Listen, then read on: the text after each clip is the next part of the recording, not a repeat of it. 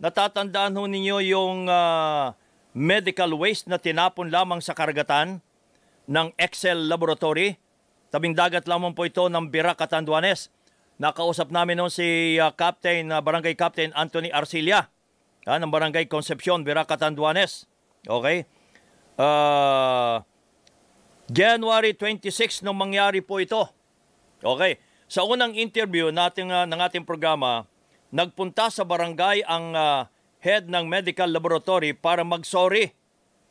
Tapos so nagpositibo pala sa COVID-19. Yung ah, anong yun, yung ah, head ng medical laboratory. January 31, muling nakausap natin si Kapitan. Walong katao nagpositibo sa antigen test matapos maglaro ng mga medical waste na itinapon ng Excel Laboratory. Pitong bata, uh, 3 to 11 years old, at isang nanay na unang nakipagtulungan na kunin sa kamay ng mga bata ang mga syringe, heringgilya, na ginawang baril-barilan ng mga bata.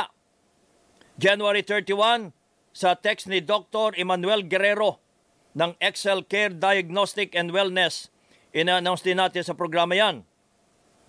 Ang sabi niya, Good PM Ma'am Camille, yung kasama ho namin dito. As much as we want to clear our name at this point, we were told not to say anything. Since ongoing na po yung investigation, hope you understand our predicament po. Uh, in due time, we will issue a statement po. Although I represent our board, it is not me who could speak for it thoroughly po. Please extend our apology to Sir Noli Di Castro po. Yun ang sorry ni Dr. Emmanuel Guerrero. Okay. February 1, hindi ko namin makakalimutan kasi itong uh, issue na ito eh. Nakakausap natin sa programa si Engineer Maria Socorro Abo, uh, Regional Director ng DNR, EMB, Region 5. February 15, tinulungan natin na makausap ng uh, Public Attorney's Office uh, si Captain Arcilia of the Air. Nag-message si Cap Arcilia na na-dismiss na ang kaso. Wow! Ganong kabilis. Na-dismiss na kaagad ang kaso. Si Captain Arcelia hindi sumasagot. Hanggang ngayon, ha? Hanggang ngayon, hindi natin alam kung anong nangyari, bakit na-dismiss ang naturang kaso. Uh, wala rin ginawa. Anong nangyari dito? Meron pa nag-positive dito, buti walang namatay. Uh, anong ginawa ngayon? Nagpatuloy pa rin nag-ooperate. Itong uh, naturang uh, laboratory na ito hanggang ngayon nag-ooperate pa rin, ha? Wala, walang sinasabi si Kap? Biglang hindi sumagot. Kahapon daw sa Biglang hindi na sumagot? Ha? kahapon sir siya tumawag. Excel Laboratory, ang pangalan nung, nung um, uh, laboratory na yun. Anyway, uh, si Ginoong Ramon San Pascual, ay Executive Director ng Healthcare Without Harm Southeast Asia. Okay. Tanong natin, ano ba dapat ang mangyayari dito? Dahil na-dismiss na ang kaso, although hindi natin nakausap si, uh, si Cap Anthony Arcilia, pero kahapon sumasagot siya, ngayon hindi na agad sumasagot. Uh, tingnan natin, ma- baka sakali. Uh, Mr. Uh, San Pascual, magandang umaga po. Ay, magandang uh, umaga po, uh, Kanodi. Opo. Uh, tungkol Opo. po dun sa tanong ninyo, Okay. ang mang, ang namamahala po kasi sa uh, permit to operate ng mga laboratory lalo na sa ilalim ng batas ng uh, COVID ay ang uh, Department of Health. At syempre malaki rin ang uh, control diyan ng mga uh, may uh, lokal na pamahalaan na kung saan nag-ooperate itong mga laboratory na ito. Kaya nakakataka yung uh, kinikwento nyo na in so short a time ay na-dismiss o na parang sumara yung kaso. Opo. Hindi na natin alam kung ano na ang ah, kwento sa likod ng pagsasara ng kaso na yon. So, ah, pero kami sa Healthcare Without Harm, Kanoli, ang pagkaganyan ng sitwasyon, ang aming ah, binibigyan ng ah, atensyon, una yung uh, paano ba tamang pinangalagaan yung mga medical waste na nagmula sa COVID. Uh, whether uh, ito ay may kinalaman sa COVID treatment o kaya naman may kinalaman sa COVID uh, vaccination na campaign. Kasi kung may uh, siringhilya yan, ibig sabihin yan, malamang yan ay uh, nagmula sa vaccination. Uh, merong uh, panok merong lab, inilabas na uh, pulisiya.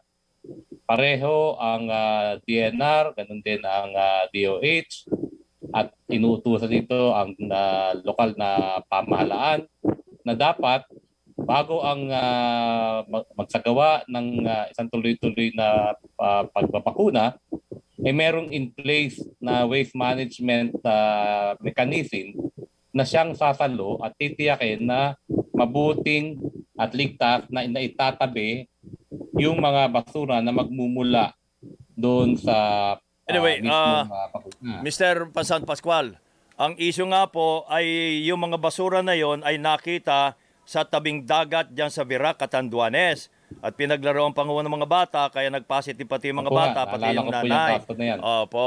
Eh, ano Opo. ba may tutulong natin? Bakit to biglang na-dismiss? Ah, anong may tutulong ninyo sa ganitong kaso, yung grupo nyo?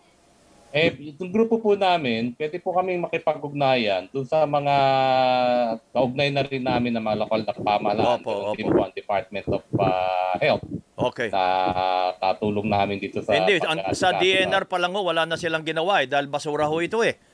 Medical Kaya waste, eh, dapat eh, DNR muna. dapat DNR pero yung yung control po kasi doon sa mismong laboratorio ay pwede pong mangimasok ang DOH at yung lokal pamahalaan.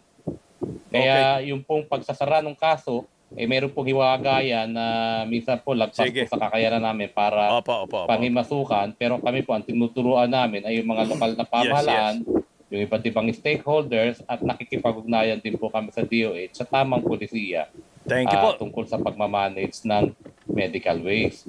Thank you po. Thank you po, uh, Mr. San Pascual. And good morning po. Good morning. Salamat po.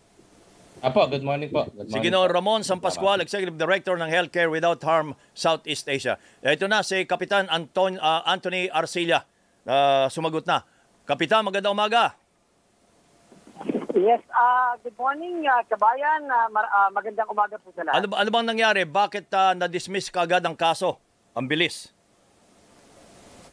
Yes po, ah base po dun sa pinalabas sa order na, ng ah, MTC Virac, ano, na ah, insufficient ah, na pagbigay ng anumang impormasyon sa ah, sa part po ng ah, barangay. And ah, admitted po ako bilang punong barangay na hindi po kami nakapag-comply ng isang dokumento na kinakailangan po ng ah, Municipal Trial Court ng Virac. ng Ano ho yun? Ano, ano yun? Ito po yung ito po yung kabayan yung ah, at yung certification na galing po sa RHU Virac na kung saan magsi-certify sana ano si Dr. Elba Hoson na ito pong si ah, Mrs. Josefina Reyes. Siya po yung ah, identified na nag ah, nag-attend ng ah, session sa aming ah, barangay na kung saan siya po pala ay ah, nag-undergo ng na, ng, ah, ng quarantine And uh, suddenly, in a few hours right after nung sa ating pong uh, session, ay siya po yung uh, uh, inilabas na directive ng DOH na siya po yung uh, positive doon uh, sa COVID-19. Nung positive. And again, ang uh, RHU po, hindi hindi po naglabas na uh, Wow. certification uh, na para po dito. Ay nako. So anong nangyari? Wala na ho. Ba- bali wala na yung na reklamo ninyo. Bali na wala na rin ang na- naging epekto ng natu- naturang medical waste sa mga bata magitan sa isang ah, nanay. po, kabayan, ah, that's why ah, kami po ay ah, lalong-lalo po sa akin na bilang punong barangay. Ako po ay uh, porsigido na nagpupumilit sana na buhayin uli ang ah, ang ah, kaso sa pamamaraan po ng ah, kami po ay magsasubmit po ng ah, motion for reconsideration sana. And ah, sa tingin po natin, since na si Dr. Roson talagang ayaw, naninindigan po siya na hindi po siya lalabas ng anumang dokumento galing po sa kanila pong opisina. Wow. Oho. So anong pakiramdam ho ninyo? Ah, walang tumutulong sa inyo? Sino ang pinaka-abogado nyo? Ah, tama po. Ah, kami po ay pa- palagi ah, from time to time lumalapit po sa PAW, ano sa sa Public Attorney's Office. Opo. Ano po ang ah, pinakamagandang ah, gawin ng ah, barangay? And again, same ang ah, kanila pong mga kasagutan. Dapat po makapag-comply tayo ng certification galing po doon sa RHU Virac para ito ay ang mag-sustain ng ah, kabigatang ah, kaso laban po kay Mrs. Reyes. Po. Itong si Dr. Emmanuel Guerrero, nakausap na ho ninyo mula noon? Well, ah, ah, kabayan, ano, si Dr. Guerrero, well, ah, mula po nung tayo po ay nagkaroon po ng sesyon, hindi hindi po siya sa amin na nag ah, nagpunta or nagbisita man lang ah, sa nangyari pong ah, medical waste nung nakaraang Enero. Eh, sino ho ba, bago pa ho ang mayor dyan at saka vice mayor o sila pa rin?